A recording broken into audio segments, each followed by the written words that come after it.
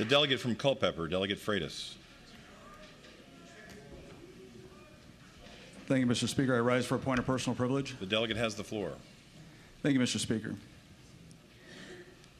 Well, to anybody that's watching or listening, uh, the rendition that you just heard has become all too familiar from some of our colleagues on the other side of the aisle. Not all of them. I want to make sure that that's understood, but some of them, because once again, it's the questioning of the intentions of people that you disagree with on policy.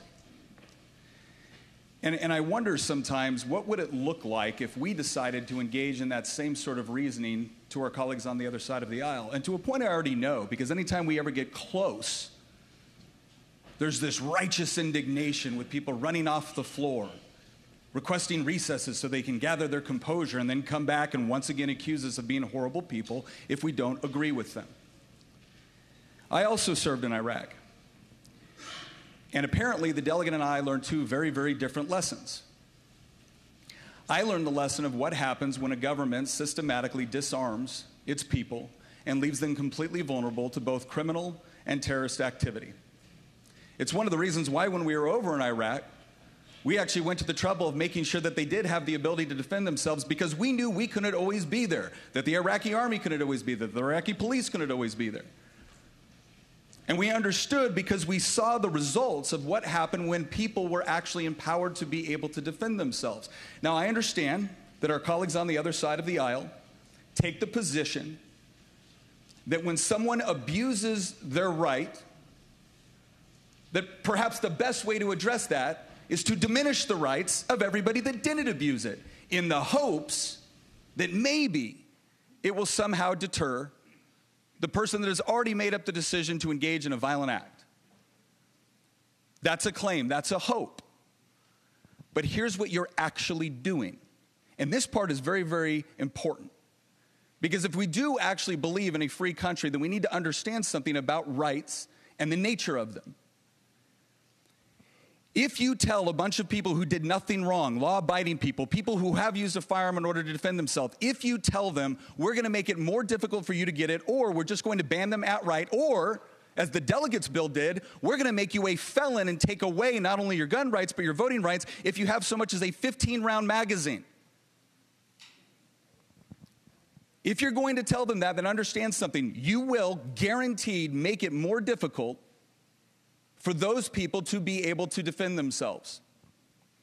They will be completely reliant upon the government to provide for their security. So when someone is kicking in their door, when someone is robbing their store, when the domestic abuser comes back, they will have to call the police and patiently wait. And if the police don't get there in time, I guess our colleagues on the other side of the aisle will be able to say, well, at least there wasn't any gun violence. Because let's understand something about the way that they actually gather their statistics, and this is very important to understand.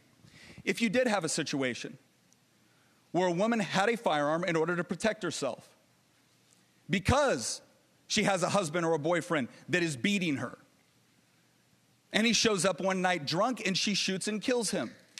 That will go into the general statistics of gun violence.